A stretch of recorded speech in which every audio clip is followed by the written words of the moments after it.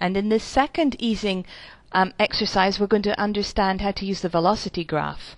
And basically, you your positive numbers, th- these are tangent points, and you drag it to go fast, slow, fast, slow.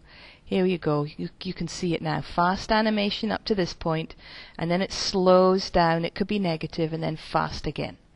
So, what does ours look like? Here's my car, and I do double click, and um, he's moving backwards and forwards, kind of like a learner driver. Here we go again.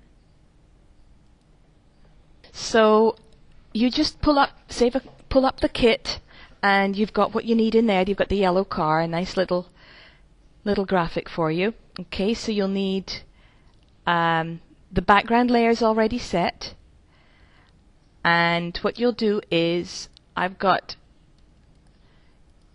here at the end to you're going to insert F5 to extend. I'm out at 90, but you don't have to be at 90.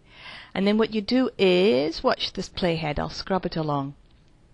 I start at the beginning, I've got a, a layer for my car, and I motion tween, and you can see that he's actually moving, but there's nothing, you know, it's just a straight motion tween. So how did I get this to happen? Until there's another keyframe and then we do something different. So what you do is you double click, you do your motion tween, Okay. And then you click on Edit. And it defaults to a straight line. It'll go from this point right the way along, which is straight. But at any point, you just click, you get another tangent point, and you can start playing about with Bezier, or you can move it up. This is fast movement.